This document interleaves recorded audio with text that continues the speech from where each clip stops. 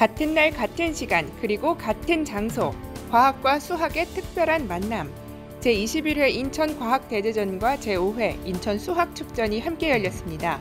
학생들이 재밌는 과학과 수학을 만나는 뜻깊은 시간이었습니다. 세계가 함께하는 글로벌 시대 고등학교 외국어 동아리 활동을 하는 학생들이 한자리에 모였습니다. 그동안 갈고 닦은 외국어 실력은 물론 친구들과 함께한 다양한 외국어 활동을 발표하고 전시하는 시간을 가졌습니다. 학생, 학부모, 교원, 교육의 주체들의 혁신 미래 교육에 대해 깊이 고민하고 함께 나누는 특별한 행사가 열렸습니다. 제5회 인천 혁신교육 한마당 2019 학부모 에듀 페스티벌 현장에 다녀왔습니다. 교육에 관해 궁금한 것이 있다면 따뜻한 차 한 잔과 함께하는 두근두근 차담회 인천광역시 교육청이 찾아가는 교육청의 일환으로 청년 사장 조부모, 학부모들을 만나고 왔습니다. 누구나 평등하게 어디서든 균형 있게 삶의 힘이 자라는 인천 교육을 만들기 위한 교육균형 발전 사업, 교육균형 발전 사업 내실화 방안 마련을 위한 토론회가 열렸습니다. 시청자 여러분 안녕하십니까? 스치듯 가을이 지나고 겨울이 성큼 다가왔습니다. 하루하루 낮아지는 온도의 추위를 실감하는 요즘인데요. 그런데 이 추위를 무색하게 할 만큼 학생들의 뜨거운 열기를 확인할 수 있는 곳이 있다고 합니다.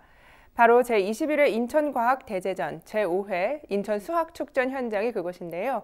같은 날 같은 장소 같은 시간에 열려 더 성황을 이룬 과학과 수학의 축제 현장 인천교육뉴스 오늘의 첫 번째 소식입니다. 송도에 위치한 한 박람회장 학생들이 재밌는 과학 실험 체험을 마치고 바쁘게 이동합니다. 이번에는 수학 소프트웨어를 이용해 도형을 마음껏 그려봅니다. 4차 산업의 핵심인 융복합적 역량을 키울 수 있는 과학과 수학이 하나 돼 같은 날 같은 장소에서 열린 제21회 인천과학대제전과 제5회 인천수학축전 현장입니다. 먼저 과학 향기 축제 타고 퍼지다를 주제로 열린 제21회 인천과학대제전에서는 과학교육과 생태환경교육, 발명교육 체험 등 200여 개가 넘는 팀이 체험형 부스를 운영했고요. 과학경진대회 우수작품 및 인천 주변 섬 사진 전시, science stage, 3분간의 과학소통, 저명인사 초청 강연 등 최근 과학 이슈에 관해 알고 있는 경험을 공유할 수 있는 소통의 장이 열렸습니다. 몇 걸음 옮겨 들어간 제5회 인천 수학축전 현장에서는 무형의 수학, 진리에 다가가다를 주제로 꿈 나눔, 꿈 이름, 꿈 결움, 꿈 보람 이 네 가지 테마로 총 93개 체험 부스와 수학 탐구 발표 대회가 진행됐는데요.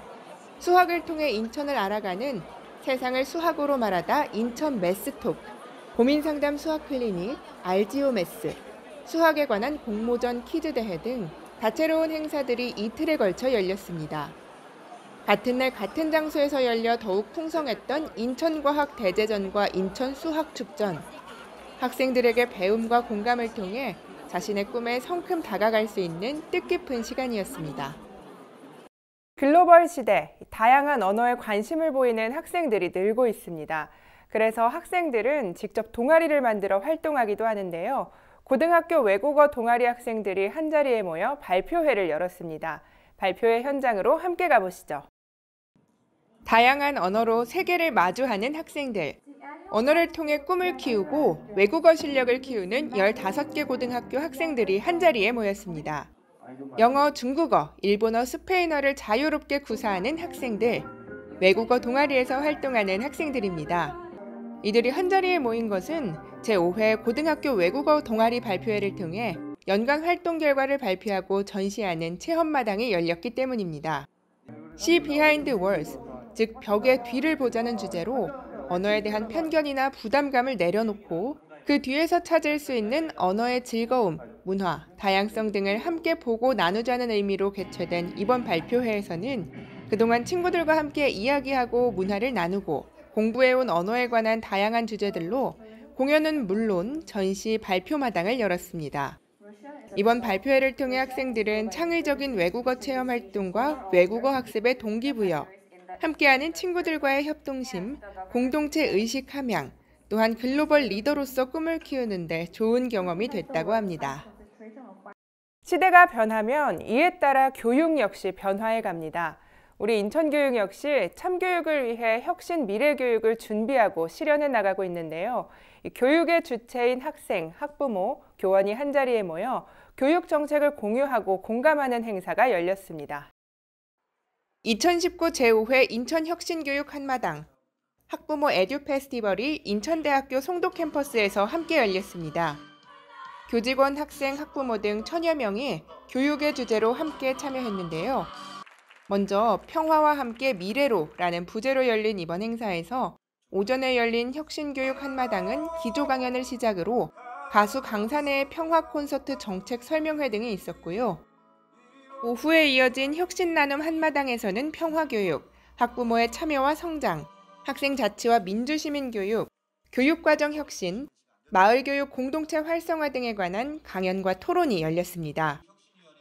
함께 열린 학부모 에듀 페스티벌에서는 학부모회 및 학부모 동아리의 활동을 알리는 전시마당, 학생 학부모 등이 참여하는 체험마당, 교육에 대한 고민을 상담할 수 있는 상담마당이 열렸습니다. 참가자들은 이번 행사를 통해 미래 교육에 대해 진지하게 고민하고 그 고민을 함께 나누고 교육을 주제로 다양하게 즐길 수 있는 시간이 됐는데요. 인천광역시 교육청은 이번 행사를 통해 교육 주체들이 함께 공감하고 논의한 의제들을 교육 현장에 적용될 수 있도록 할 방침이라고 합니다. 인천광역시 교육청은 교육 현안에 대해 궁금증이 있는 분들은 어디든지 찾아가서 소통하는 자리를 마련하고 있는데요. 이번에는 조부모와 청년 사장님들을 직접 만나고 왔습니다. 찾아가는 교육청 두근두근 차담회 함께 하시죠. 남동구 창업지원센터의 한 카페. 청년 사장님들과 교육감이 따뜻한 차를 앞에 두고 둘러앉았습니다. 인천광역시 교육청의 두근두근 차담회가 열린 것입니다. 이번 차담회는 학생 시절을 지나온 청년으로서 바라보는 인천 교육에 대해 허심탄회하게 이야기 나누는 시간인데요. 청년들은 이번 차담회에서 독서 교육의 중요성과 진로 교육 마을 및 기업과 연계한 교육 프로젝트 등에 관한 다양한 제안들이 있었습니다. 이틀 뒤 이번 두근두근 차담회는 부모들을 대신해 아이를 키우는 조부모님들과 마주했습니다. 아이를 돌보는 조부모의 입장으로 황혼 육아의 어려움, 조부모 육아에서 발생하는 가족 간의 문제들에 대해 솔직한 의견들이 오고 가는 시간이었습니다. 유아기에 자녀를 둔 학부모와의 차담회도 빠지지 않았는데요. 인천광역시 교육청에 바라는 유아교육, 학부모로 자녀 양육의 어려움을 함께 나누는 자리가 됐습니다. 인천광역시 교육청은 청년 조부모뿐 아니라 학부모 학생들과도 꾸준히 차담회를 열고 인천광역시 교육청에 바라는 다양한 교육 제안들에 대해 꾸준히 듣는 것은 물론 교육정책 반영도 계속해 나갈 예정이라고 합니다. 교육은 누구에게나 평등해야 한다. 평등한 교육을 통해 삶의 힘을 키우는 인천 교육을 위한 교육균형 발전 사업 내실화 방안 마련 토론회가 열렸습니다. 누구에게나 평등하게 교육받을 수 있는 권리를 실천하기 위해 다양한 교육균형 발전 계획을 추진하고 있는 인천광역시 교육청. 2018-2019년도 교육균형 발전 계획 추진 성과 점검 및 세부 추진 과제 재정비를 위한 토론회가 열렸습니다. 교육균형 발전교 교직원, 학부모, 사업 담당자 등 200여 명이 함께 모여 열린 이번 토론회는 개회식을 시작으로 인천교육 균형 발전 사업의 성과 지표 개발 및 개선 방안, 추진 실적과 성과, 우수 운영 사례 등의 발표가 있었고요. 이어 인천교육 균형 발전 사업의 내실화 방안 마련을 위한 중점 과제별 분임 자유 토론이 이어졌습니다. 맞춤형 교육 지원, 인적 및 환경 인프라 강화, 지역사회 연계 등을 통해 교육 균형 발전에 나아갈 방향을 진지하게 모색해본 이번 토론회. 다양한 의견을 모아 더욱 균형 있게 성장하는 인천광역시 교육이 되길 바라봅니다.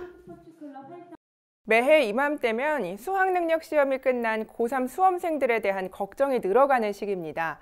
시험은 끝났지만 새로운 삶의 힘이 자라도록 사회와 학교, 가정이 함께 노력해야 할 시기가 아닌가 싶습니다. 학생들이 목표로 하는 것은 무엇인지 또 진심으로 원하는 것은 무엇인지 함께 이야기하고 소통하는 시간 되시길 바라며 오늘 소식은 여기까지입니다. 시청해주신 여러분 고맙습니다.